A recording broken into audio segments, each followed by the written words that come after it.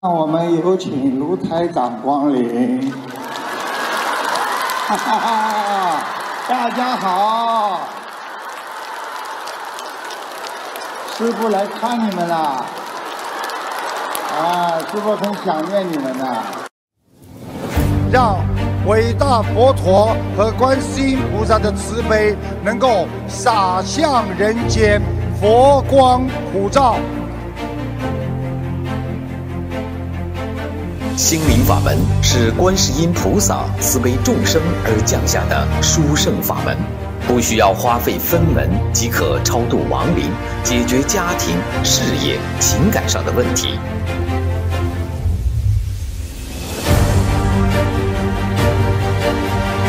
数的大病、绝症以及精神病患者，通过许愿、念经、放生、念诵小房子而奇迹痊愈，全球一千万人都受益了。您也可以帮您自己化解灾劫。心灵法门是帮助您消灾改命的法宝。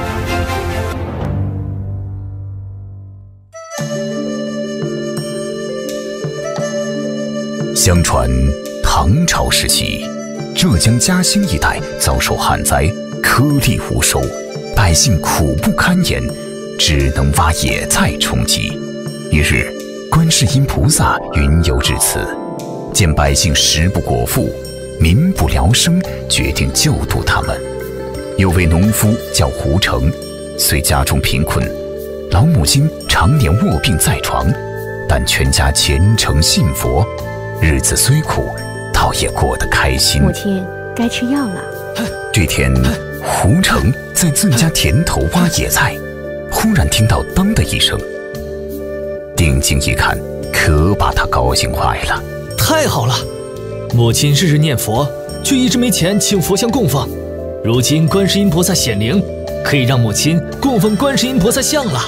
哎，你在我的地里挖出了宝贝，这个金像。就是我的了，金像是在我家地里挖出的，你快还我！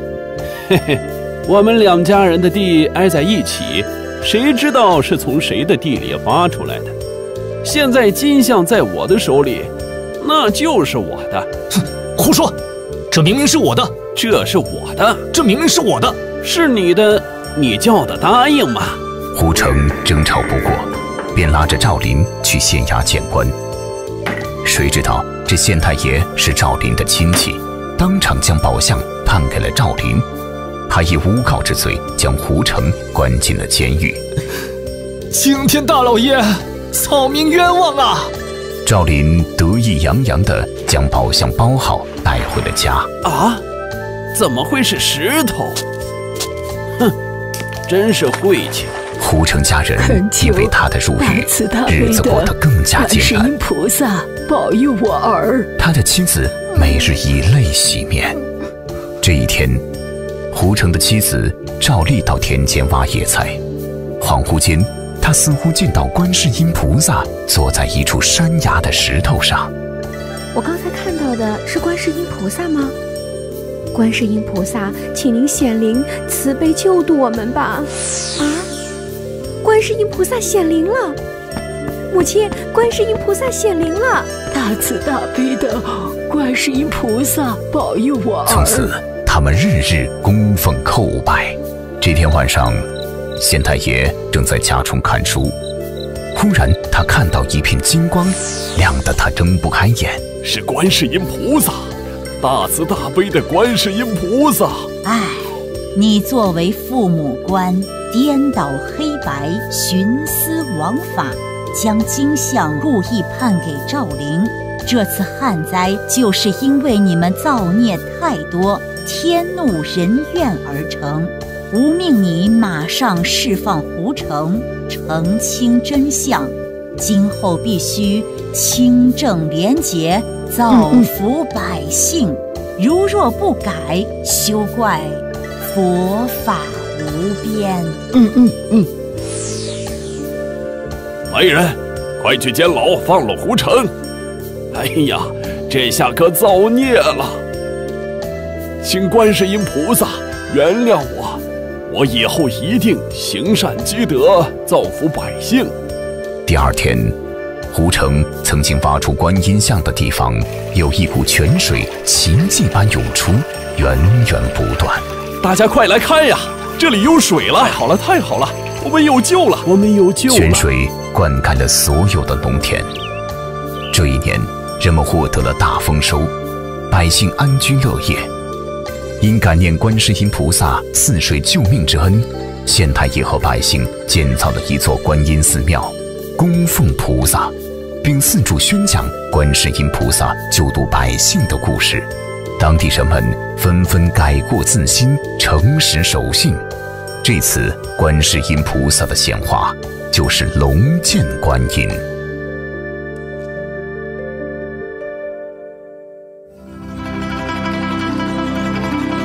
有一位很想成为富翁的青年，说的是古时候他到处流浪，辛苦的寻找着变为富翁的方法。几年过去了，他不但没有变成富翁，反而成了衣衫褴褛的一个流浪汉。菩萨。被他的虔诚感动了，就跟他说：“要成为富翁很简单，你从此以后要珍惜你遇到的每一件东西、每一个人，并且为你遇见的人去着想，布施给他。这样，我想你很快就会成为富翁了。”青年听后高兴得不得了，就手舞足蹈地走出了庙门。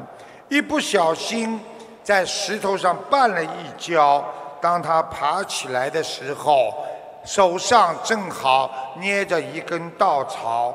他小心翼翼地听着菩萨的话，要珍惜一草一木，拿着稻草就往前走。突然，他听见一个小孩子嚎啕大哭的声音，他就走上去，拿着自己手上的稻草在逗孩子。孩子非常好奇的就停止了哭声。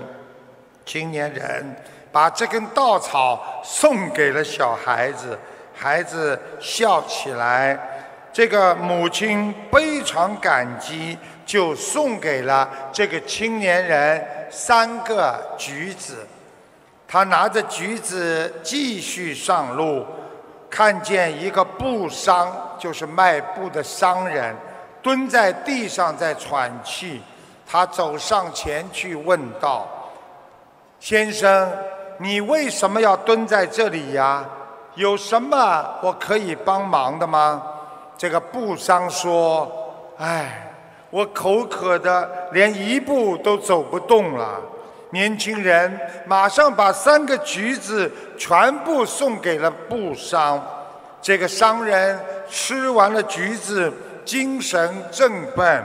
为了答谢他，送给了他一批上好的绸缎。青年人拿着绸缎继续往前走。他看到一匹马。病倒在地上，骑马的人正在那里一筹莫展。他就跟主人说：“如果你同意，我愿意用这匹布来换你这匹马。”主人一看马已经不能动了，非常高兴，就答应了。他跑到小河边，去提了一桶水给马喝。没想到，才喝了一会儿，马就好起来。因为马是因为口渴才倒下的。青年人骑着马继续的前进，经过了一家大宅院的前面，突然跑出来一个老人家，挡住了他，向他请求：“先生，你能不能把你这匹马借给我？”他马上从马上跳下来说：“好，我马上借给你。”那老人说：“先生，我是这个大屋子的主人，现在我有紧急的事要出远门，等我回来还马的时候，我再重重的谢你。如果我没有回来，这个宅院和土地就送给你好了，你暂时先住在这里，等我回来吧。说完，就匆匆的骑马走了。青年人在那座大宅院里住了下来，等老人回来。没想到老人一去不复返，他就成了庄园的主人，过着富裕的生活。这时候，他领悟到，我找了多少年的富翁的方法，原来成富翁就是这么简单。要布施，要慈悲呀！感恩大慈大悲的观世音菩萨，感恩大慈大悲的卢台长。我自己的业障我自己背，不让师傅背。请师傅帮忙看我看我的儿子，他今今年已经三岁了。二零一三年四月出生。不会讲话。对。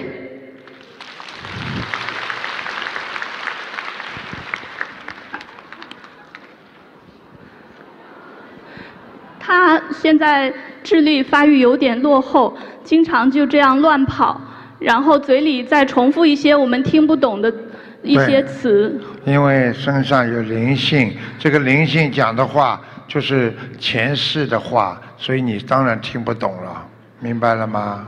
对。你告诉我他几几年属什么的？二零一三年出生，属蛇，小男孩。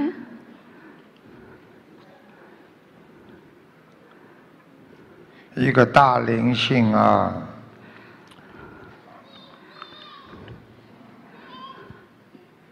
一个大灵性，而且我告诉你呀，我看到了一个。头上抓个揪的人，有点像武林中人了。这孩子是不是有时候手舞足蹈，像打拳打架一样？对，他在家里就喜欢到处跳，往高处爬。看见吧？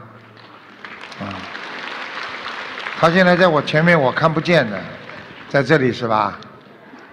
我看不见。我帮您抱过来。啊，跑掉了，没关系，没关系。他叫什么名字啊？他叫蒋维明。贾文明啊？蒋蒋，呃。喂，贾文明。还有真文明。蒋维明，惟惟妙惟肖的惟。蒋维明。铭记的铭。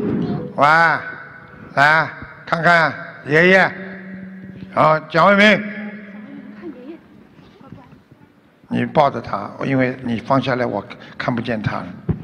嗯，你把话筒帮帮他拿一下。来，把他抱起来。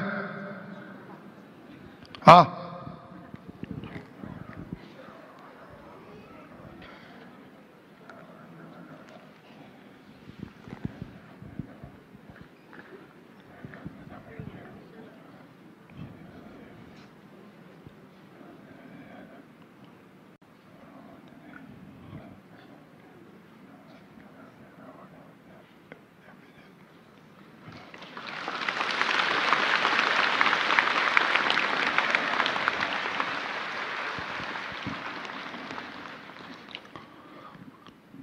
他身上这个灵性，先要两百张，接下来要念一千四百张。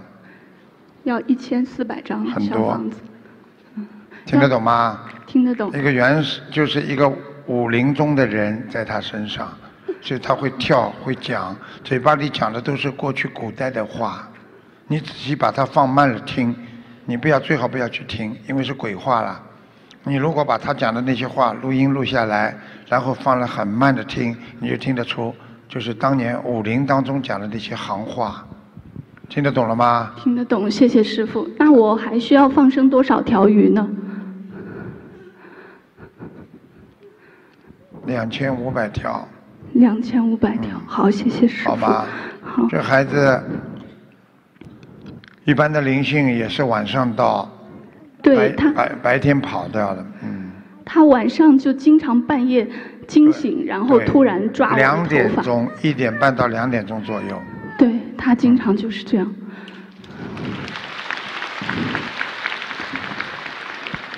你好好帮他念经，这个灵性走掉了，这孩子就恢复正常了。否则这个孩子的两个腿啊，还有两个手啊，肌肉萎缩，长不大，不长肉，听得懂吗？对他真的已经半年都没有长个子，没长胖了。看见吗？但是所以这些都是前世的冤结，你必须好好把它消掉，好好念经。请师傅看一下我们家的风水。嗯，你家里的房顶太低，尤其他睡觉那个房间，房梁突出一块，凹进来的，听得懂吗？对我们是次顶层有一个房檐，看见了不啦？那那明白吗那要怎么破解呢？要还破解了搬，家。他跟我讲武林中话了，怎么破解啊？啊？那我们需要搬家吗？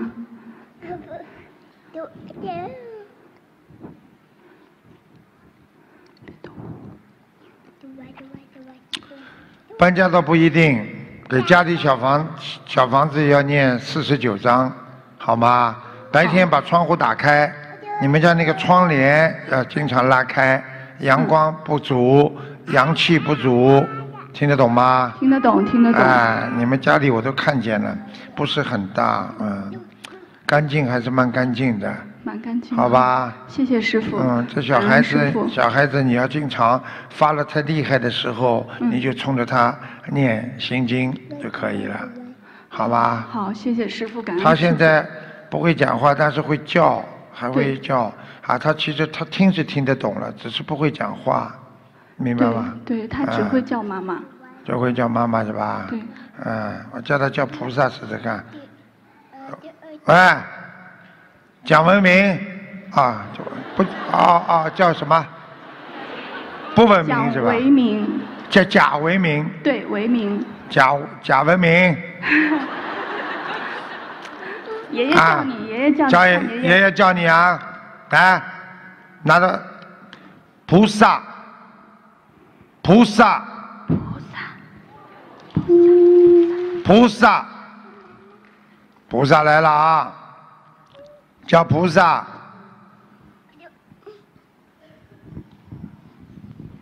算了，别弄孩子了，弄伤他麻烦了。好啊，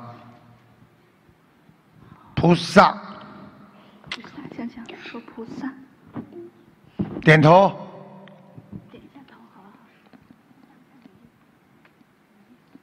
双手拜拜，双手拜拜。你别拉他呀，那不稀奇的，又不是木偶了，要他自己拜的。双手拜拜。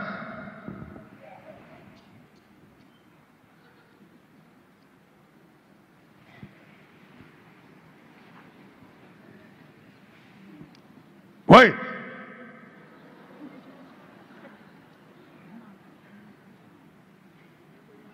你让他看我，不看我没用。算了，随他去吧。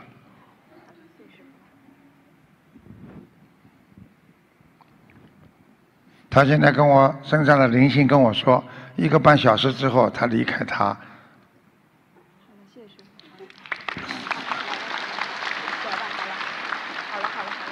啊，三天可以三天不在他身上，你可以太平三天，这三天你拼命念经吧。好了。嗯。很麻烦，所以你们现在想到了吧？一个灵性在身上很麻烦，很麻烦的。好了，嗯。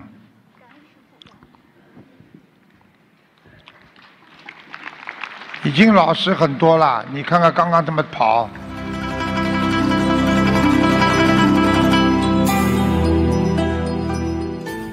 所以，在这个世界上，用通俗的话讲，就是一切让你喜欢、让你悲伤、所有人间的情，它都是虚空的，它到最后都是没有。它有时候像一张网一样，我们自己用了执着、执空和执有，来慢慢的编织了这张网，来慢慢的主宰着我们每天的悲伤和幸福。是我们自己的感受，我们自己的悲伤和幸福。每一天的爱情、友情、兄弟情、父女情，每一天的母子情和朋友之情，每一天执着在里边，觉得这是我值，这是我应该拥有的。所以一旦失去，就会痛苦万分。所以我们说，只要有因缘的，一定。会相遇，但是相遇也是个因缘，因为因缘也会失去，所以缘分没了，就慢慢的失去了。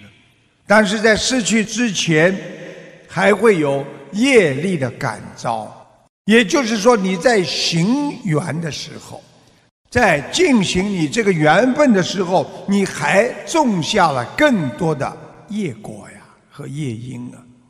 啊所以，为什么会有业缘呢？那是前世的累积。所以我们这一世等于重新的上演了上一世、上一世的故事，精彩呀！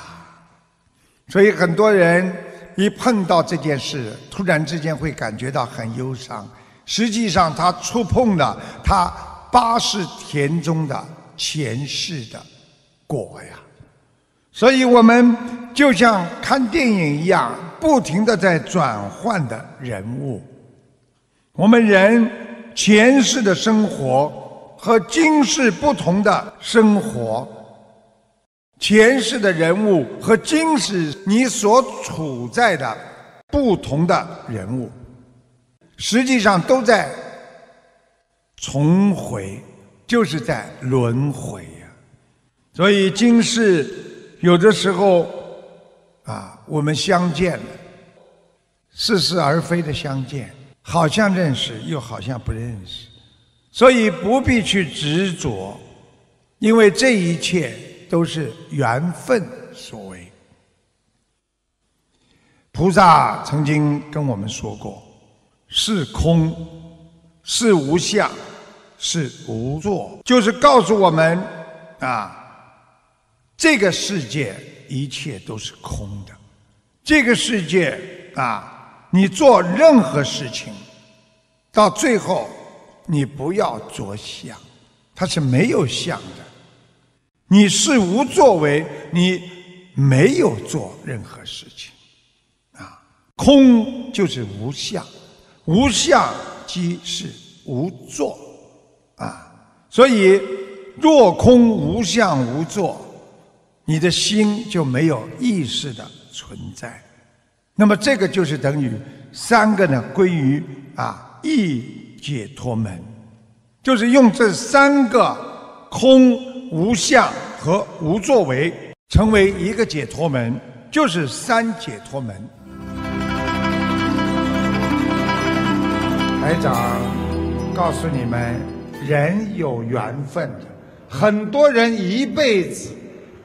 受苦，他也没有得到这个悟性，而有些人突然之间悟出这个道理了，他就是开悟了，他就是解脱了。有一个国王，他很喜欢打猎，他的宰相呢，跟他呢去微服私访，去微服就穿的普通的衣服，宰相呢。最最常挂在嘴边的那一句话呢，他就是说一切这都是最好的安排。实际上，他指的是都是缘分菩萨的安排。有一天，国王到森林里要去打猎，一箭射倒了一只花豹。国王下马检视花豹的时候，没想到这个花豹没有死，他使出最后的力气扑向国王，把国王的手指的小指咬掉一截。国王叫宰相来饮酒解闷，谁知道这个宰相却微笑着说：“大王啊，看开一点吧，这一切都是最好的安排。”国王听了，非常的愤怒。宰相，如果我把你关进监狱，这也是最好的安排吗？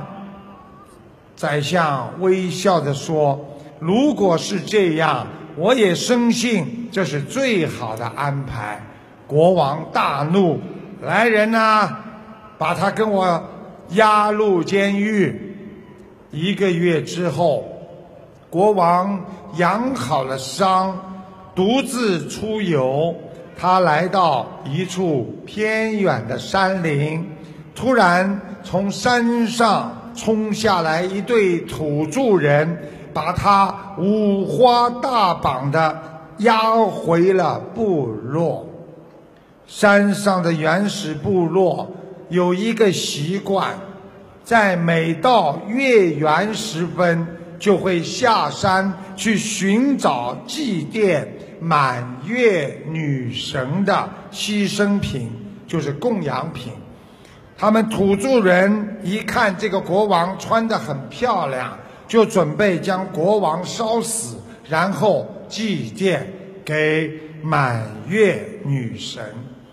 正当国王绝望的时候，有一个祭司突然大惊失色地说：“他发现国王的小手指少掉一截，是个不完美的祭品。收到这样的祭品，满月女神会发怒。于是土著人就将国王放了。国王大喜若狂，回宫后。”叫人释放宰相，摆酒宴请。国王向宰相敬酒说：“嗯，看来你说的一点不错，果然一切都是最好的安排。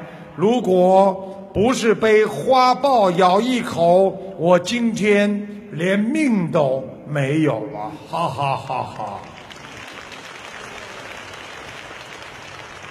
国王突然想到了什么，就问宰相：“哎，宰相，可是你无缘无故的在监狱里蹲了一个多月，那你又怎么说呢？”宰相慢条斯理的喝下一口酒，说：“如果我不是在监狱里，那么陪伴您私地出榜的。”一定是我。当土著人发现国王你不适合做祭奠的时候，那不起轮到我了吗？